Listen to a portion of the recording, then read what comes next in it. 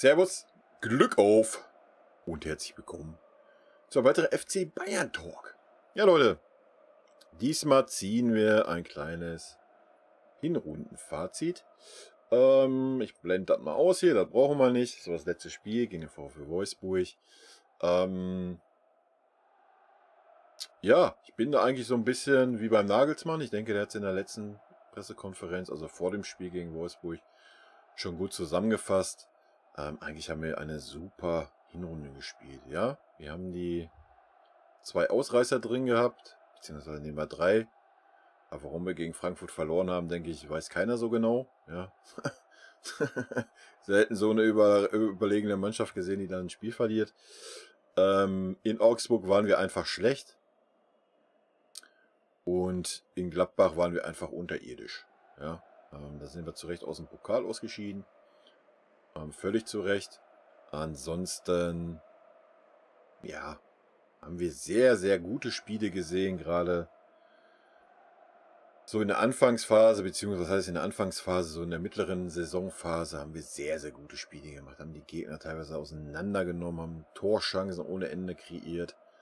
Ähm, jetzt die letzten Spiele, ja, die letzten drei, vier Wochen hat man, denke ich, gesehen, dass einfach die Kraft nicht mehr so da war, um das äh, so durchzuziehen.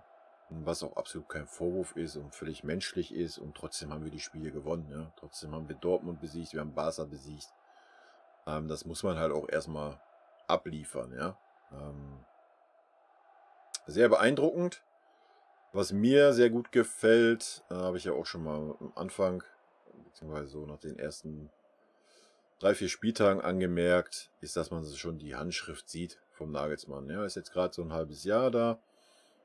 Ähm, aber man sieht halt, dass wir viel, viel variabler sind. Ja, dass wir halt viel mehr über die Halbposition spielen, was gerade in Sané sehr zugute kommt. Ähm, was aber auch Müller zugute kommt, der da sich darum tummelt, was auch noch Musala noch mehr zugute kommen wird in Zukunft. Ähm, wo sich ein Knabri zwischenzeitlich vielleicht ein bisschen schwerer tut, äh, genauso wie so ein Coman sich vielleicht zwischenzeitlich ein bisschen schwerer getan hat. Beziehungsweise Coman ist ja dann eh eher dann der, der auf dem Flügel klebt mehr. Ähm, es ist ja so, dass wir teilweise rechts dann mit einem richtigen Außen spielen und links dann mit einem, mit einem Sané, der mehr so der im Halbfeld ist und dafür dann Fonsi der ist, der der die linken, link, links außen spielt und ein linker Verteidiger. Der ist quasi zwei in ein. Ne?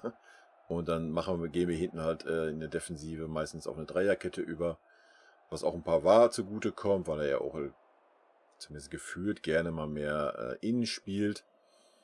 Ähm, und das klappt nahtlos.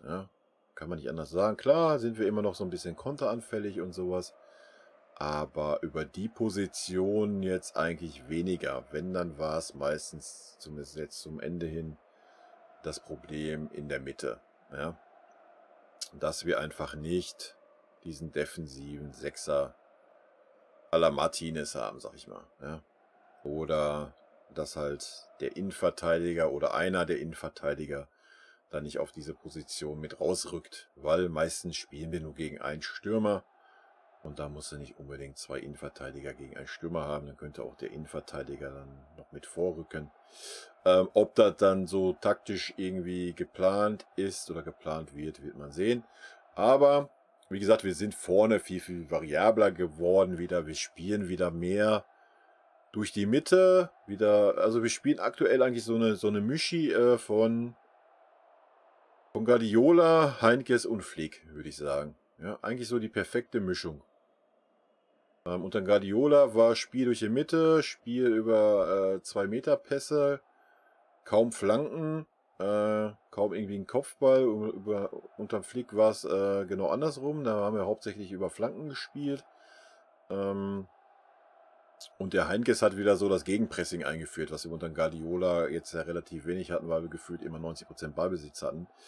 Und der Nagelsmann ist, seine Philosophie kombiniert das alles. Ja? Wir sind richtig stark im Gegenpressing, also so stark wie wir noch nie waren, finde ich. Ähm, ja, es hat zwischenzeitlich ein bisschen gelitten, das hat man gesehen, weil wir nicht so die Frische hatten. jetzt zum Ende hin. Aber auch heute wieder mega starkes Gegenpressing ne, von der gesamten Mannschaft und nicht dann nur von drei, vier Spielern.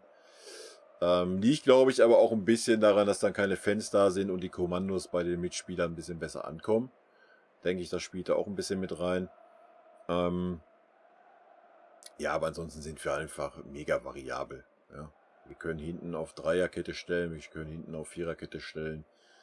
Ähm, wie gesagt, Fonsi spielt meistens einen Linksaußen komplett äh, mit hoch und Sané rückt dann ein und ach, wir sind einfach so variabel geworden. Und was mir persönlich gefällt, dass wir halt auch wieder ein bisschen durch die Mitte spielen und da auch ein paar schöne Kombinationen haben. Ähm, und das wieder ein bisschen mehr wie unterm Flick. Ja, haben wir unterm Flick auch gehabt teilweise, aber wir haben unterm Flick nie so die Halbposition besetzt, wie wir sie jetzt besetzen. Ne? Ähm, und das ist meiner Meinung nach auch so ein bisschen das Thema, warum so ein Sané nicht so richtig seine Stärken ausspielen konnte unterm Flick. Ähm, weil Sané ist nicht dieser Außenspieler, wie ein Coman das ist, wo man sagt, der rennt äh, die Linie hoch und runter. Nee, er ist schon mehr der, der halbe auf der Halbposition und dann vielleicht auch auf die Zehnerposition reinrückende Spieler. Ich denke mal, das hat man ganz klar gesehen in dieser Hinrunde. Und da hat er seine Stärken und wenn er dann noch Bock hat, wie er es in der Hinrunde getan hat, auf die Defensive, dann ist er einfach Weltklasse. Und da kommen wir zu meinem nächsten Liebling, Serge Gnabry. Ähm, der braucht sich einfach nur ein Beispiel daran nehmen. Ja, mehr muss er eigentlich gar nicht machen. Er hat äh, fast die gleichen Fähigkeiten, jetzt vielleicht nicht so im Dribbling, nicht ganz so äh, filigran und sowas. Ähm, aber wenn er noch ein bisschen Bock hätte, mit nach hinten zu arbeiten, ja, dann hätte es ein Pavard leichter. Ja, da muss ich den Pavard mal ein bisschen in Schutz nehmen. Ich habe ja oft genug draufgehauen. Auch letzte Saison. Ähm, aber man hat das ganz klar gesehen, wo Knabri halt nicht da war jetzt, ja, die Spiele. Wenn dann da ein Coman war oder wenn Buna Sada mal eingewechselt wurde oder sowas, hat man halt ganz klar gesehen, sobald dieser Mittelfeldspieler ein bisschen, nur ein bisschen mal mit nach hinten arbeitet und einfach mal mit dem Gegenspieler mitläuft und ihn so halt zustellt. Ja, er muss ja noch nicht mal in den Zweikampf unbedingt rein, aber den Zweikampf gewinnen. Er muss doch einfach nur mitlaufen und nicht äh, fünf Meter mitlaufen und dann sehen, ach, ich komme eh nicht in den Zweikampf, ich lasse ihn laufen. Ähm, und dann steht so ein Pavard da immer gegen zwei. Ja, es wurde schon ein bisschen abgefedert, meines Erachtens nach. Ähm, und dass dann der Innenverteidiger mit nach außen rückt. Ähm, dann rückt der andere Innenverteidiger auf die Position und wenn Fonsi dann schon wieder hinten ist, so schnell wie er ist, rückt er dann auch einen ein. Aber dann hast du halt öfters das Problem, ähm, wodurch wir auch Gegentore schon gesehen haben, dass dann auch über die, über die Seite dann ja, vielleicht zwei Leute beim, über Fonsis Seite kommen und die Position gar nicht äh, gedeckt ist. Klar, Sané arbeitet sehr viel mit nach hinten. Mittlerweile, der ist dann versucht, ein bisschen auszugleichen. Aber das könnte man in meinen Augen halt einfach alles verhindern, indem man äh, als ein Spieler wie ein Serge Knapri mal mit nach hinten arbeitet. Was er heute getan hat äh, beim Spiel gegen Wolfsburg.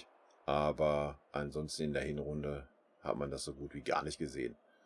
Und ich denke, das war auch mit ein Grund, warum er dann auch eine Zeit lang raus war. Ne? Nicht nur seine Corona-Geschichte, muss man ganz klar sagen. Also Coman, der ackert mit nach hinten, Sané ackert mit nach hinten und Knabri halt nicht. Musala ackert mit nach hinten, ja, spielt sogar auf 8, spielt sogar auf 6. Ähm, ja, und ich denke, da bin ich ganz ehrlich, sehe ich dann aber auch keine, keine Zukunftsgeschichte. Ja, er, er, hat noch einen Jahr Vertrag, glaube ich, Command, sein Vertrag läuft, läuft aus. Da liest ja jederzeit immer irgendwie, ja, ist schon weg nach Barca, nach Real und was weiß ich überall, äh, Kinsley. Ähm, ja. Gut, Kinsley ist immer viel verletzt, das ist so ein bisschen das Problem. Aber ansonsten muss er, muss er eher einen Command halten wie ein Knabri, wenn es äh, rein um, um die sportliche Leistung geht. Ne? Muss man mal ganz klar sagen. Aber wer weiß, vielleicht kriegt der Nagelsmann das auch noch in den Schädel von Knabri rein. Das war ja auch schon in Hoffenheim so, wo er unter, unter Nagelsmann gespielt hat, dass er da auch mal so eine Denkpause gekriegt hatte. Weil er da halt auch so defensiv nicht wirklich was gemacht hat. Ähm, ja, schauen wir mal. Ich bin gespannt. Ähm, er muss vielleicht einfach mal die Lust dafür entwickeln. Dass man halt auch mal Aber dass es halt einfach geil ist, auch mal einen Zweikampf zu gewinnen in der Defensive oder da mal eine Torschance zu verhindern. Aber gut, wenn man so ein Offensivgeist ist, keine Ahnung. Aber wie man ja sieht, ging es beim Sani auch. Ähm ja, klar, wir sind mal wieder aus dem Pokal ausgeschieden. Äh liegt vielleicht an meiner Pokal-Playlist. Äh, ich habe ja vorher immer alles in, in einer Playlist gehabt. Dann habe ich es ja letzte Saison gesplittet und da sind wir schon äh, gegen Kiel relativ früh raus. Hier diesmal da in Gladbach chancenlos und schlechtes Ohren vielleicht. Ähm, aber soll, ohne, ohne Scheiß, soll die Leistung unserer Mannschaft nicht schmälern in der Hinrunde. Ja, man darf halt auch nicht vergessen, ähm, dass noch ein Turnier davor war und viele halt gar keine vernünftige Vorbereitung hatten. Und ja, was wir dann zwischenzeitlich für einen Lauf hingelegt haben. Und auch jetzt die letzten Spiele, wo man ganz klar gemerkt hat, dass halt einfach diese Belastung da ist, ähm, kann man gar nicht groß genug den Hut davor ziehen. Auch wenn ich äh, die Spiele kritisch bewerte, wenn die Leistung dann halt nicht so gut ist. Ähm, das gehört halt einfach dazu, aber das große Ganze gesehen, ja, fantastisch einfach. Und dass du halt mal so ein Spiel hast wie in, in Gladbach, natürlich ist das nicht schön und auch nicht zu erklären. Ähm, aber dass du mal so, so einen Tag hast wie in Augsburg zum Beispiel, völlig menschlich, ne? Ähm, also von daher. Für mich alles gut. Mir gefällt, was ich sehe.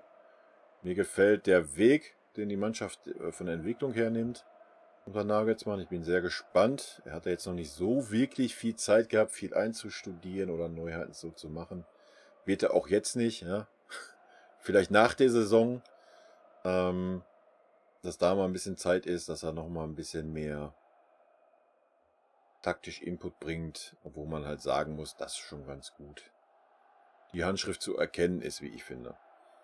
Ähm, ja, vielleicht nochmal ein Wort zu unserem, ja, ach so schwachen Kader, den wir hier haben. War die große Diskussion äh, vor der Saison. Ich habe ja auch ein, zwei Positionen angesprochen gehabt, wo ich Handlungsbedarf gesehen hätte. Sehe ich immer noch so der rechte Verteidiger, wo man jetzt sagen muss, die letzten Wochen war Pavard äh, wieder das, was man von ihm sehen will. Ähm, ja, ich weiß nicht, ob vorher irgendwie dann so ja keine Lust irgendwie, weil ich eigentlich Innenverteidiger spielen will, hatte ich auch schon mal in den Raum gestellt. Plus dann, dass du immer einen Spieler vor dir hast, der dich im Stich lässt äh, mit dem Knabri. Das irgendwie so gepaart war mit, weiß man nicht, wer hat aber auch persönliche Probleme gehabt oder sowas. Auf jeden Fall die letzten Spiele jetzt waren wieder, war eine ganz andere Einstellung halt her. Ähm, wenn er so spielt, haben wir kein Problem auf der Rechtsverteidigerposition. Wenn er aber so spielt wie, wie ein Jahr lang davor, haben wir ein Riesenproblem auf dieser Position. Ähm, von daher sehe ich da immer noch Handlungsbedarf. Selbst wenn du da nur irgendwie ja, ein Talent nimmst. Ich meine, wir haben den Stanisic hochgezogen. Ja, muss man halt auch mal gucken, wie das so weitergeht. Ähm, war halt auch viel Licht, aber auch viel Schatten, wenn man ehrlich ist. Reicht dann auch nicht für große Gegner. Ähm, kann auch nicht, hat auch noch gar nicht die Erfahrung, wie es ein Pavard zum Beispiel hatte. Ne? Aber ansonsten, ja, denke ich, hat man gesehen, dass ein Mark Rocker funktioniert jetzt in den letzten zwei Spielen. Ähm, ja, dass ein Richards funktioniert. Dass selbst ein Bunazar, wenn er nicht als rechter Verteidiger spielt, sondern als rechter Mittelfeldspieler, nicht so viel kaputt macht, wie er, wie er sonst kaputt macht. Ähm, ich denke, über Musiala brauchen wir gar nicht erst reden. Ähm, setzen Tillmann, den wir öf öfters mal gesehen haben, hat man gesehen, dass er, dass er Anlagen hat. Und ja, ein Tolisso, wenn er fit ist, ja, und wenn er mal wieder ein bisschen mehr, mehr Vertrauen in seinen Körper kriegt, ähm, ja, also ich habe keinen gesehen, wo man sagt jetzt, oh scheiße, jetzt haben die da keinen mehr und dann läuft da so eine Pflaume auf. Ich meine, Q-Song hat elf Minuten gespielt. Das sagt auch alles, dass wir darauf nicht zurückgreifen mussten. Sieht man halt auch, dass der Kader gereicht hat, meines Erachtens nach. Ähm, aber ich war da ja eh nicht so skeptisch wie die ganzen Experten. Aber gut. Jeder wie er meint, wa? Gut, ich würde sagen, wir bewerten mal so ein bisschen, oder ich bewerte mal so ein bisschen die einzelnen Jungs. Äh, ich hoffe, ich kriege das so. Bei vielen hat man es ja im Kopf, aber bei vielen hat auch nicht so ganz, ne? Mal eben gucken. Kriegen wir hier bestimmt so eine Auflistung. Gut, ich denke über Neuer, äh, ach guck mal geil, über Neuer gibt es nichts zu sagen. Eine ganz klare 2, ja, hat, äh, ja, keine Ahnung, eigentlich könnte es sogar auf eine 1 gehen, also die zwei, drei Wackler, die er mal hatte in seinen, in seinen Dingern, ähm, ja, wenn man das jetzt so sieht, 24 Einsätze, nur 9 zu 0, ähm, ja, aber das kann man ja nicht ihm vorwerfen, ne? muss man ja auch mal ganz klar sagen. Also Neuer würde ich eine 2 geben. Äh, Ulle und äh, Christian können wir nicht wirklich beurteilen. Ne? Aber Ulle hat immerhin einen Einsatz gehabt. Ja. Ähm, Verteidigung Upper. Sehr, sehr stark angefangen. Ähm, dann aber auch so ein bisschen jetzt eine Schwächephase gehabt. Ich denke einfach auch mal. Ja, bedingt, dass man das auch nicht gewohnt ist unter diesem ja, Leistungsdruck möchte ich gar nicht sagen, aber unter diesem Erfolgsdruck vielleicht, ähm, der halt schon herrscht bei uns, ne? Ähm, ist halt nochmal ein bisschen was anderes wie bei Leipzig und natürlich auch die Eingewöhnung und so weiter und so fort. Ähm, aber ich denke, er hat sein Potenzial schon sehr, sehr viel gezeigt. Ähm, ja, auch seine Schwächen hat man kennengelernt, aber da wird er dran arbeiten. Und ähm, heute gegen den Weghorst, der jetzt auch kein schmaler Typ ist, hat das auch super gemacht. Ne? Aber er hat halt so zwei, drei, vier Spiele gehabt, wo er sich gegen so einen, so einen Stürmer halt schon schwer getan hat, wo er sich nicht ganz so getraut hat vielleicht. Ich weiß es nicht. Ähm, aber ansonsten, ja, ich mag, ich mag einen Upa. Ich bin sehr gespannt. Ich denke, wir werden noch viel Freude an ihm haben. Ähm, Oma Richards, ich weiß gar nicht, was hier diese Einblendung ist. Soll das die durchschnittliche Spielzeit sein? 12, 28 oder was? Wahrscheinlich, ne?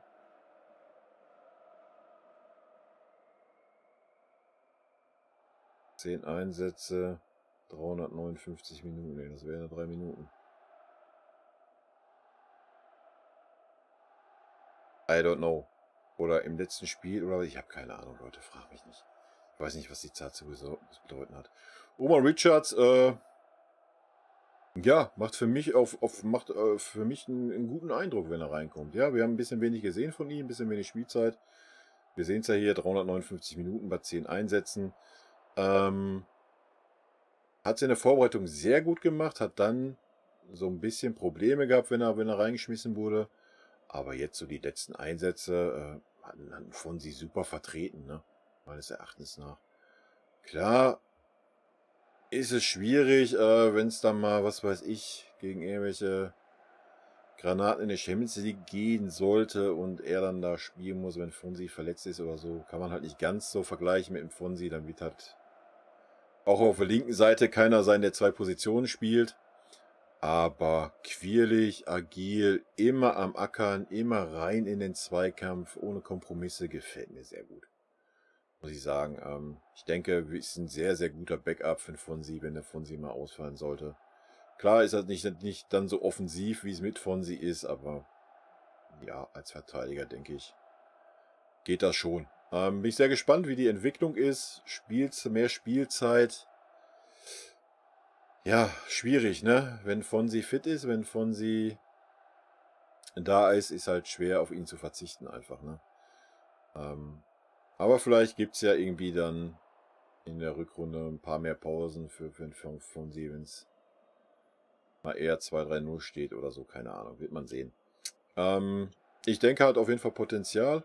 Hat da gezeigt, angedeutet. Äh, für mich ein solides, solider Einstand und für die Bundesliga reicht es alle Male. Ähm, Niki, ja, Niki ganz stark. Ne? Niki wieder zu alter Stärke zurückgefunden. Ähm, ja, wenn er so die, so die, die Stärke hat, äh, ja, gibt es nichts Besseres in Deutschland. In der Innenverteidigung, meines Erachtens nach.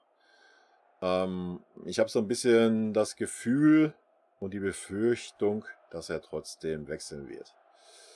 Ähm, Wäre sehr schade drum. Ich würde mich freuen, wenn er bleiben würde. Und der Nagelsmann scheint ja auch den richtigen Zugang zu ihm zu haben. Und ich denke, mit den drei Innenverteidigern, Upa, Süle und Hernandez, haben wir auch keine Probleme. Ne? Ähm, mit in der Hinterhand noch Nian zu. Ähm, auch wenn ich jetzt immer wieder lese, äh, Antonio, Antonio Rüdiger soll zu uns kommen, ablösefrei. Ja, ist wahrscheinlich so die Wahl, wenn wenn Niki geht, ablösefrei, war.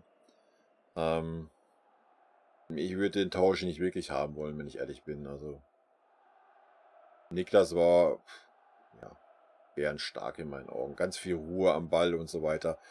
Alles, was in Upa zwischenzeitlich ein bisschen gefehlt hat, ähm, hat er da ein bisschen mit Ruhe reingebracht und ja, ich denke, war, war schon ein wichtiger Spieler und wird ein wichtiger Spieler sein. Wie gesagt, ich würde mich freuen, wenn er verlängern würde. Ähm, Benji, ähm, ja, hat schwer gehabt äh, oder sehr schwankend, sag ich mal. Aber jetzt so die letzten Einsätze haben mich ein bisschen versöhnlich gestimmt, weil wir da wieder den Benji sehen, ähm, wie er am Anfang unter Flick auch war. Ja? Ähm, wie ich ja schon gesagt habe, ich rechne da ein bisschen auch den Knabri das mit an. Über die Seite. Wofür aber dann natürlich auch der Trainer verantwortlich ist, der das dann mal klar kommunizieren muss, ja. Aber ja, ich habe es ja gesagt, die ganze Zeit, er war halt, er hat nie versucht, die Flanke zu verhindern, hat immer nur versucht, den Gegner ein bisschen zuzustellen, war nie im Zweikampf präsent. All das war die letzten Spiele wieder da. Warum, wieso, weshalb jetzt auf einmal wieder, ich kann es euch nicht wirklich sagen. Aber habe ich ja gerade schon gesagt. Ähm, ja, wenn wir Noten geben würden, ich würde äh, ich würd Upa eine 3 geben. Weil halt einfach diese Schwächephasen, die er hatte, ähm, lässt das nicht mehr zu. Oma Richards würde ich auch eine 3 geben. Natürlich ist, ist das eine andere 3, man muss das ein bisschen unterschiedlich bewerten. Er hat viel mehr Einsatzzeit. Ähm, aber ich denke, hier ist Potenzial vorhanden. Niki eine ganz klare 2. Ganz, ganz starke Leistung. Er hat ab und wann mal einen kleinen Wackler drin gehabt, aber war für mich ganz stark. Ähm, Pavard, ja, wie gesagt, die letzten Spiele haben es ein bisschen milde gestimmt. Ähm, ich würde sagen, eine 4 mit, mit aufsteigender Tendenz. Ja, eine gute 4. Wenn es auf dem Weg weitergeht, den er jetzt hatte, äh, ist er auf einem sehr guten Weg. Aber vorher muss man auch fairerweise mal ganz klar sagen, von den 16 Einsätzen waren 13 Grotz, Grütze. Ja, das muss man halt auch mal ganz klar sagen. Fonsi ganz stark für mich, Fonsi ohne 2. Da brauchen wir gar nicht drum rumreden. Ähm, hat sogar 5 Vorlagen. Ähm, ganz stark. Ja, hat zwischenzeitlich nach seiner Verletzung und so ein bisschen Probleme gehabt, aber die letzten Spiele auch alles ehrenstark, hoch runter. Offensiv noch eine Ecke, Ecke stärker geworden unter Nagelsmann. Ähm, sehr, sehr stark. Bunazar, ja, pff, können wir nicht benoten, Alter. 218 Minuten und will ich auch nicht benoten. Ist halt. Wenn ich ihn als rechten Verteidiger benoten müsste, würde ich ihm immer noch eine 6 geben. Als rechter Mittelfeldmann geht's. Da kann er nicht so viel kaputt machen. Ähm, weiß ich nicht.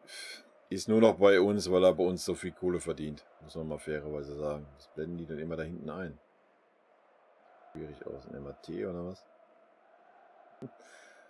Äh, Luki, Lukas Hernandez, für mich auch eine 2. Ähm, erstens mal der Spielstil. Gefällt mir einfach, ja, kompromisslos, immer, immer 110 Prozent. Ähm, sein Rumgeschrei hat er mittlerweile auch eingestellt. Auch wenn es ab und wann nochmal durchkommt, aber im Großen und Ganzen hat er es eingestellt. Und ähm, Spielaufbau ist, ist, ist auch dabei, sich stark zu verbessern, wie ich finde. Auch wenn es heute wieder ein bisschen zäh war, aber heute war auch wenig, wenig, wenig Anspiele da. Wenn ich heute re meine, rede ich vom VfL Wolfsburg. Aber so auf die ganze Hinrunde gesehen, äh, finde ich, hat er sich schon stark verbessert, auch nochmal im Aufbauspiel. Und ähm, ja, traut sich jetzt auch nochmal ein bisschen Tacken mehr zu, auch einfach mal zu gehen, ne? wenn sich dann einfach einer fallen lässt. Ähm, was er sonst auch schon öfters über Außen gemacht hat, dass er dann auf links mal ausgewichen ist und da marschiert ist, macht er jetzt aber auch schon durch die Mitte. Ähm, sehr, sehr gut für mich.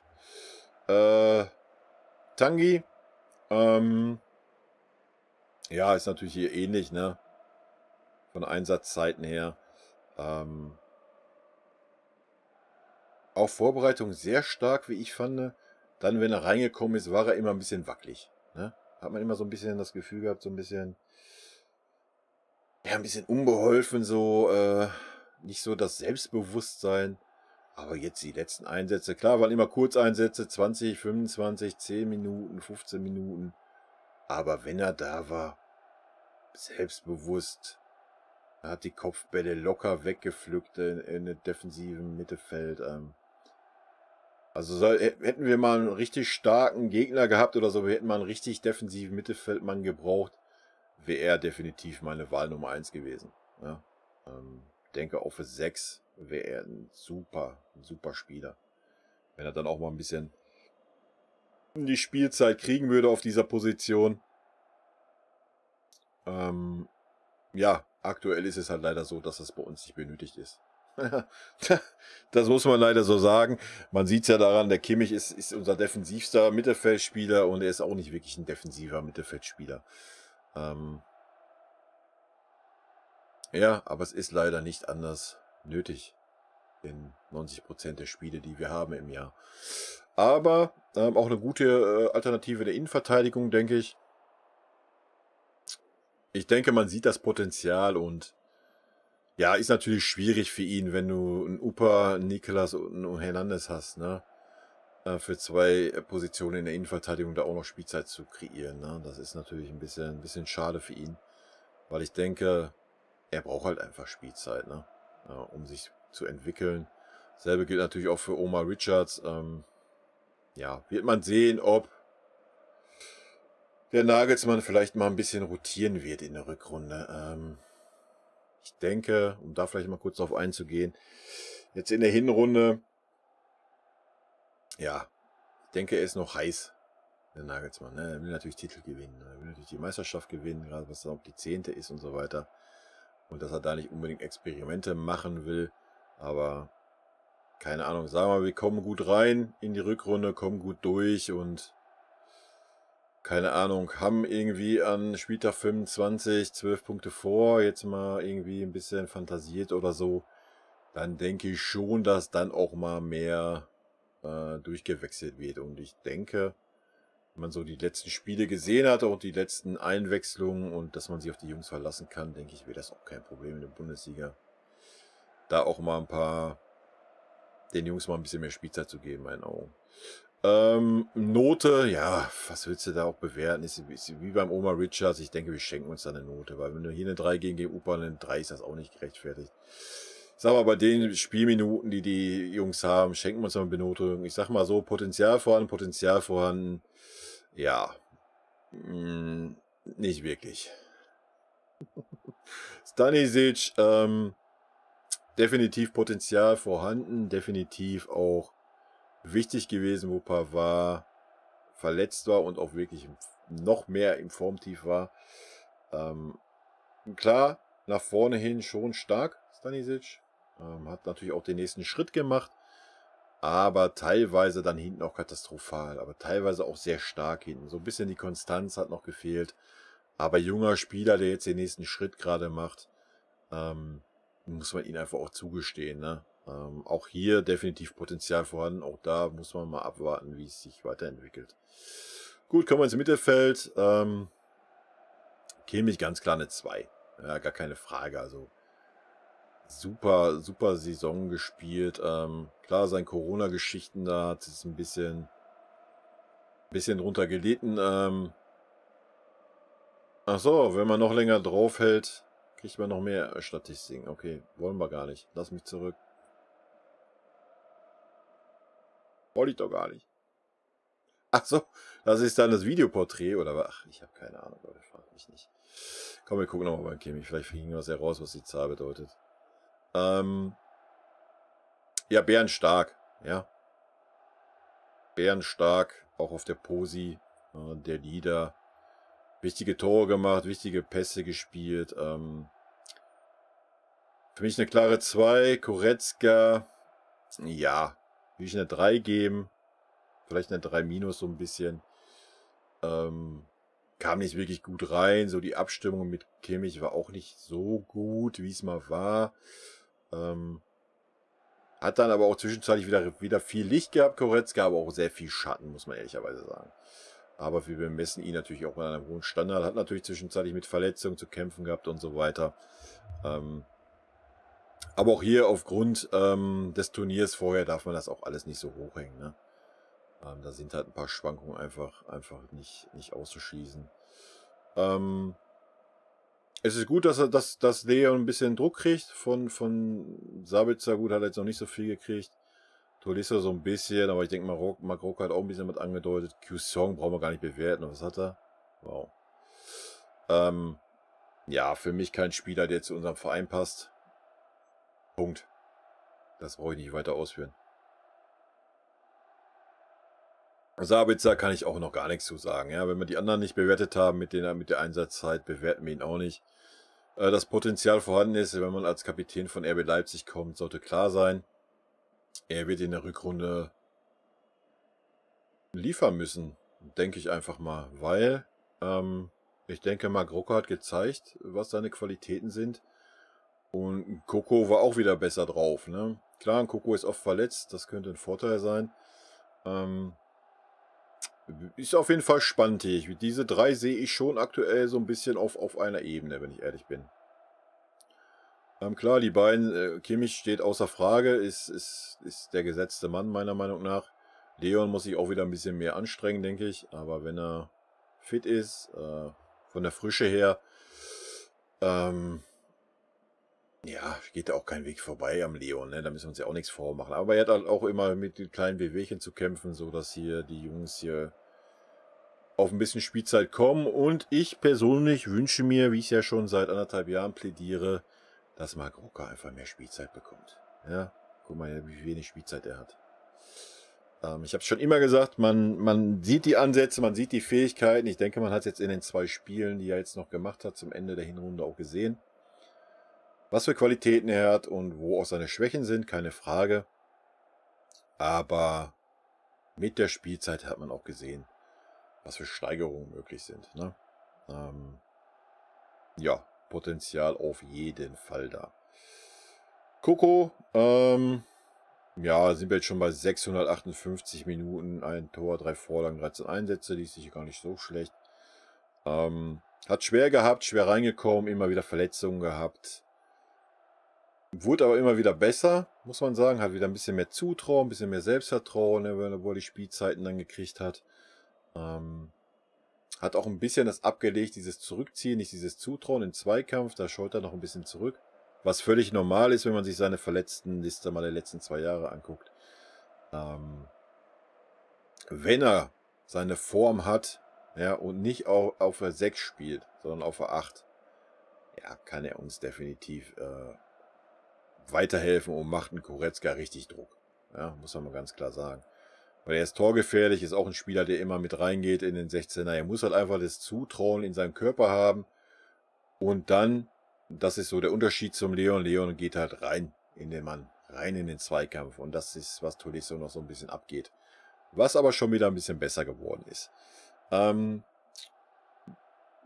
ja, würde ich auf jeden Fall einen Tacken hinter, hinter Leon sehen. Ähm, Leon hatten wir jetzt drei gesagt, ne? Oder drei Minus. Ja, will ich also auf das von der Note dasselbe Level stellen. Äh, Angriff, jetzt wird's lustig. Äh, ich fange mal mit dem Levi an. Äh, ich denke, 24 Einsätze, 29 Tore, drei Vorlagen.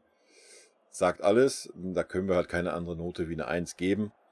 Ähm, dasselbe bei Sané, 25 Einsätze, 10 Tore, 10 Vorlagen, ist für mich auch eine 1.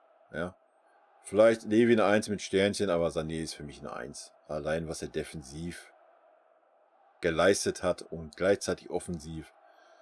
Ein Traum. Einfach ein Traum. Ähm, King, ja, man sieht 17 Einsätze, 5 Tore, 2 Vorlagen, 905 Minuten. Ist jetzt nicht so viel. Wie immer, leider. Ja, wenn wir es jetzt vergleichen, ne? Gut, dafür hat er noch relativ viele Einsätze, aber wie man sieht, dann auch viel weniger Minuten. Ähm, ist halt immer wieder von Verletzungen geplagt, was ein bisschen schade ist. Wenn er über einen längeren Zeitraum fit ist, sieht man sein enormes Potenzial. Ja, auch, dass er nochmal eine Schippe mehr draufgelegt hat nach hinten hin. Hat er vorher schon immer mit nach hinten gearbeitet. Da jetzt unter Nagelsmann nochmal eine Schippe draufgelegt. Ähm, und nach vorne hin, wenn er seine Form hat, ja, sucht es seinesgleichen über außen. Ja, muss man ganz klar so sagen. Ähm, würde ich so erstmal mit einer 3 bewerten. Und ich hoffe, King bleibt verletzungsfrei. Wird schon die Musik um, ich quatsch schon wieder zu lange. Ähm, ich hoffe, King bleibt verletzungsfrei. Und ich hoffe, ähm, dass sie sich einigen werden auf einen neuen Vertrag. Ja, ich bin auch da eher skeptisch, wie beim Süle leider, weil ich einfach denke, der FCB möchte nicht King in diese Gehaltsklasse hieven wie ein Sané, weil ein King halt einfach zwei Drittel der Saison verletzt ist. Ach, zwei Drittel, ein Drittel der Saison meistens verletzt ist. Er macht meistens zwei Drittel der Spiele. Ähm, und wenn du verletzt bist, dann hast du erst wieder eine Ranführungsphase und so weiter. Du hast dann nie so die Topform. Ähm, wenn er nicht diese Verletzungsanfälligkeit hätte, ja, würde es da keine Zweifel geben, denke ich. Ja. Von seinen Fähigkeiten her ist er, ist er ja, er ist ein bisschen anderer Typ wie, wie Sané. Sané ist mehr der dann auch mal gern durch die Mitte und so kommt. Äh, King ist mehr der Außenattacke macht. Ähm, ja. Ich fände es schade auch hier, wenn er wechselt. Aber da muss er auch ein bisschen realistisch sein, ja. Da muss er halt einfach mal ein, zwei Jahre mal, mal fit sein und nicht irgendwie ähm, nur zwei Drittel oder nur 50 Prozent oder nur 60 Prozent der Spiele machen. Dann hätte er auch mehr Argumente zu sagen, äh, ich möchte jetzt auf eine höhere Stufe kommen. Schwierig, schwierig, schwierig. Bin sehr gespannt. Ich, mich würde mich es natürlich freuen, wenn er bleiben würde. Ähm, sehe ich aber kritisch, wenn ich ehrlich bin. Ähm, Chupo können wir nicht wirklich beurteilen. Ähm, auch wenn man das mal sieht, 12 Einsätze, 8 Tore, 3 Vorlagen bei 248 Minuten. Kann ich ja fast gar nicht glauben, Alter. Sag ich her.